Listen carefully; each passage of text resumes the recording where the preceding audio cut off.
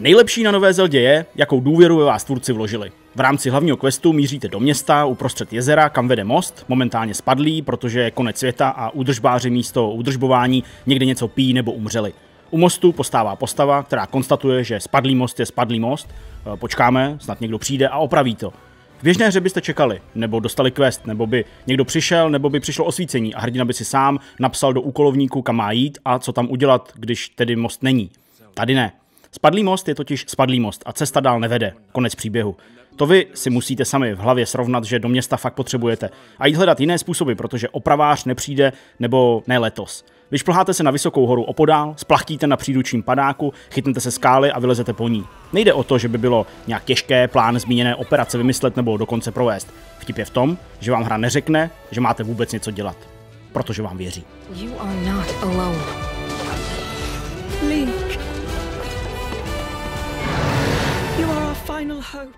The Legend of Zelda Tears of the Kingdom je zázrak. Nemusíte být fanoušci Nintendo, i když trochu ano, protože potřebujete mít Switch. Nemusíte mít zvládnuté všechny díly letité série nebo aspoň všechny liché. Nemusíte mít 200 hodin předchozím Breath of the Wild, jakkoliv na něj Tears of the Kingdom vlastně přímo navazuje. Je fajn vědět, že Zelda je princezna a Link ne. Pomůže, když tušíte, že Master Sword je meč mečů a ten s těmi zrzavými vousy je padouch. Jinak ale můžete přistoupit ke hře jako nepopsaný list. Odmění se vám jen těžko představitelným zážitkem, dobrodružstvím, jaké jste ještě nepotkali a nevěděli, že vám chybí. Dává meč do ruky, koně, no koně ne, toho musíte najít na louce a skrotit, mapu, tak jenom kousek, zbytek dokreslíte a úkol. Ve světě se zase probudilo zlo a jedině kurážný hrdina ho dokáže zastavit. Tak jděte. Hrubé žánrové zasazení Tears of the Kingdom, stejně jako Breath of the Wild, by mohlo znít třeba akční adventura s RPG prvky ve velkém světě, ale škatulky nikdy zeldě neseděly.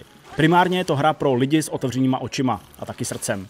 Po krátké úvodní eskapádě, kde se naučíte všechny triky a dostanete základní schopnosti, se vám otevře celý svět. Ten ale není ani nepřátelsky nevyspytatelný, kdy nevíte kam jít a proč, ani uměle nalinkovaný, aby vás vedl od vykřičníku k vykřičníku.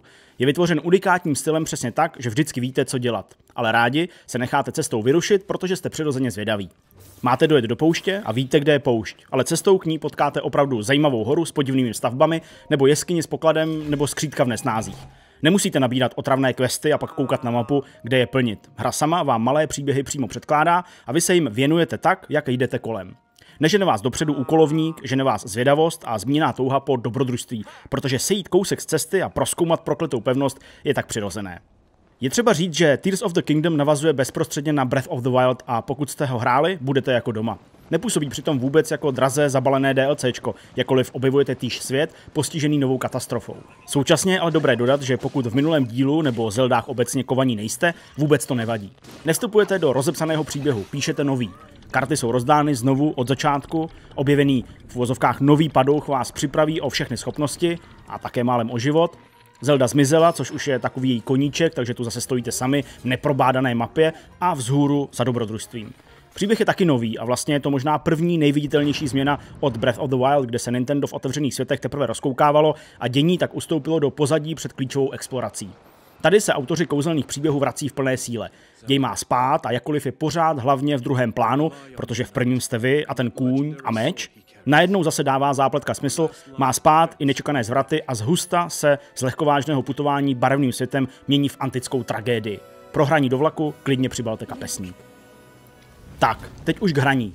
Nejdůležitější je asi to, co padlo na začátku, to o tom mostě a mrtvých udržbářích. Tears of the Kingdom se odehrává ve velikánském otevřeném světě, kde můžete jít kam chcete a příběh vás u toho vede za ruku jenom trochu. Víte dobře, co je potřeba udělat, jen vám není jasné, kudy přesně cesty povedou a co se na nich stane. Přitom ale nebudete tápat ani bloudit. Mapa není poseta otravnými otazníky. Mapa je svět, který budete chtít objevovat a poznávat, protože právě to je to dobrodružství. Jestli vás tohle láká, protože u hraní si přece chcete hlavně odpočinout po těžkém dní v práci nebo na pláži, nemusí. K hraní nepotřebujete Wikipedii. Nemusíte se bát, že něco zkazíte nebo někam přijdete pozdě. Svět je sice plný stvůr, proto potřebuje hrdinu. Někde je horko, jinde zima, k čemu se musíte obléknout nebo si uvařit lektvar, ale jinak je vlastně úplně bezpečný. Co víc, odvážím se říct, že právě takové hraní je ten pravý odpočinek. Tears of the Kingdom je hra, která po vás nic nechce, jenom vyrazit do magického světa a naplno si tu cestu užít. Aby se vám cestovalo lépe, nafasujete hned na začátku hrsku gadgetů, udělátek, vylepšení, které vám z už tak nápaditého bloudění udělají teprve zážitek, na který nezapomenete. Kromě obligátního padáku, který vám dovolí plachtit krajinou, užívat si scenéry a skákat na potvory z hora, to je hlavně čtveřice speciálních schopností. A nebyl by to tým kolem Zeldy, aby tyhle schopnosti nebyly zase originální a unikátní. První je lapač předmětů. Cokoliv ve světě leží a není přibyto, nebo ne moc silně, můžete zvednout a položit jinam. Zdí skřeti například rádi skladují poblíž základen sudy s výbušninou, eh, tak sudy zvednete a přemístíte jinam, třeba do vzduchu nad skřety, ať se gravitace taky pobaví. Přemysťovaný objekt nemusíte jenom někam položit, můžete ho přilepit k jinému objektu a pak hýbete oběma. Třeba dvěma sudy s výbušninou, nebo taky sedmi sudy s výbušninou. Nebo prkny, které dohromady tvoří žebřík. Ve světě objevujete pozůstatky technické civilizace a tak můžete najít třeba vlaštovku z polymeru a dost velkou na to, abyste se na ní svezli tak ji šoupnete na místo, odkud sjede a postavíte se na ní. Protože to byla civilizace technická, možná také někam položila motor a ten už teď umíte vzít a k plaštovce přilepit, čímž máte letadlo. Stejně si uděláte vůz na elektrický pohon s plamenometem na přídi nebo třeba banální vor, abyste se dostali přes řeku, kde je prout moc prudký na plavání. Právě používání a lepení věcí a fyzikální engine, který hře pomáhá běžet, otevírá před vámi nekonečné možnosti. Třeba v řešení hádanek, kde budete zhusta improvizovat nebo se budete snažit hru přechytračit a často vám to vyjde. Musíte se dostat přes divokou vodu, ale druhý břeh je strmý? Zkuste letadlo, splachtit z vysoké hory opodál, nebo prostě poraste hrst stromů a místo voru si stlučte most. Fantazii se meze nekladou a skoro cokoliv je možné. Druhým fascinujícím udělátkem je navraceč času. Prostě najednou zastavíte svět, vyberete objekt, který se před nedávnem pohyboval a zavelíte mu, aby se plynule vrátil. Skvělá věc na vracení času je i to, že funguje jako undo. Někde postavíte pomocí lepiče předmětů lávku, dáte ji trochu křivě a ona spadne. Vž, a už zase stojí. Chytnete polohu, mírně upravíte a je to. Třetí schopnost, kterou dostanete do ruky, je lepič předmětů na výbavu. Zjednodušeně řečeno, cokoliv, co ve světě najdete a můžete zvednout, také můžete nalepit na meč nebo na štít. Zní to zvláštně, ale zase vám to umožní nebývalé kreace. Přilepte si oblíbený výbušný sud na štít a příští potvora, která vás do štítu praští, vás už nepraští. Ve hře nejsou jiné zbraně než meče, kopí a klacky, protože jiné zbraně nepotřebujete. Chcete mohutné kladivo, kterým budete dobře rozbíjet skály a těžit rudu? Přilepte si ke klacku balvan nebo železnou bednu. Chcete sekeru na porážení stromů? Najděte placatý kámen. Část nepřátel jsou robotické autonomní systémy, ze kterých padají ostré rohy a bodce. Ideální k vylepšení zbraně s útočným číslem 8 na útočné číslo 40. A na přidání elektrického výboje do každého úderu. Nebo vyrobení plamenometu přilátáním ohňometného chrliče na obušek. Poslední abilita je ze všech nejpodivnější. Tunelovač skrz stropy. Upřímně z ní asi budete nejprve rozpačití. Hrajete ze třetí osoby a nahoru moc nekoukáte, jenže ono vám to zase umožní hrát trochu jinak. Krajinou chodí velcí kamení bosové, které porazíte tak, že na ně vylezete a rozbijete citlivé místo na hřbetě. Teď můžete vlézt pod potvoru a protunelovat se skrz. Spousta nepřátelských pevností je několika patrová. Vy můžete bojovat v přízemí a když se seběhne potvor moc, instantně se posunete o patro výš a něco na ně hodíte. Třeba výbušný sud. Samozřejmě je tunelování klíčové u řešení prostorových hádanek a při procházení dungeony. Schopnost nefunguje jenom na nějakých konkrétních, k tomu připravených místech, je aktivní všude, kde je dostatečně blízko nad vámi strop, což vám zase dovolí přistoupit k nějakým problémům netradičně, z hora.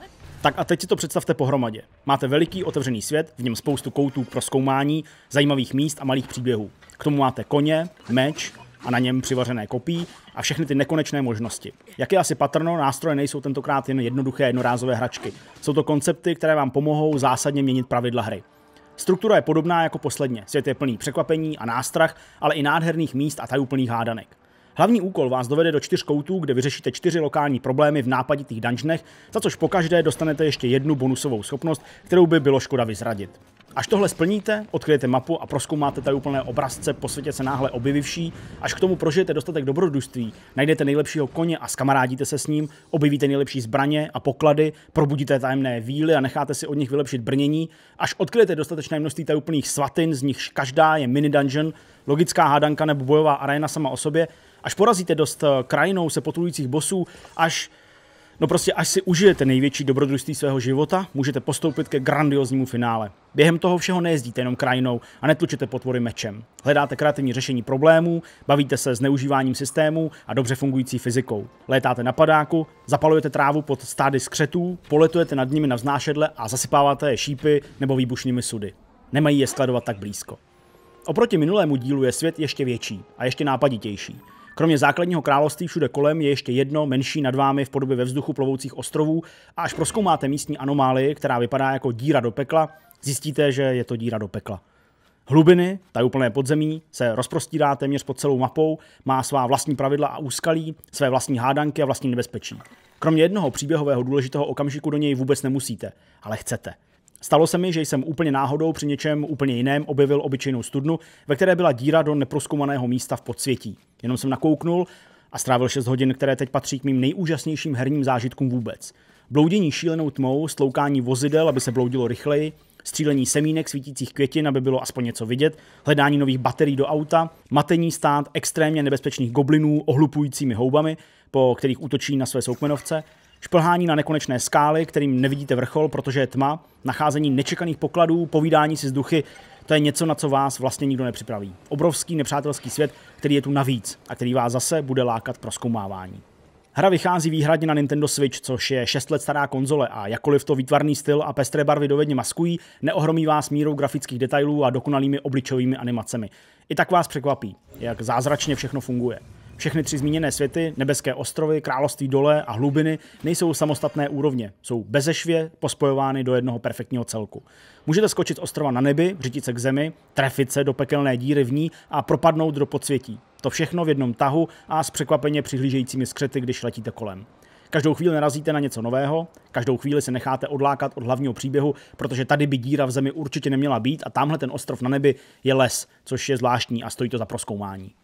A to je nejnovější Zelda. Hra pro lidi, kteří chtějí jedinečné zážitky, ale Elden Ring je pro ně třeba příliš těžký, nebo těžkopádný, nebo nesrozumitelný.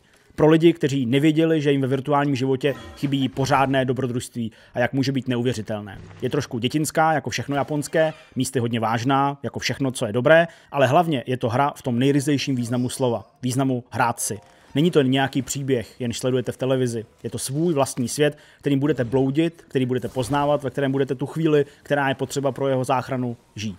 Je to určitě jedna z nejlepších her pro Nintendo Switch a dost možná jedna z nejlepších vůbec. Hra, kde budete pořád objevovat něco nového a kam se rádi budete znovu a znovu vracet. Hra, o které jste nevěděli, jak moc vám chyběla.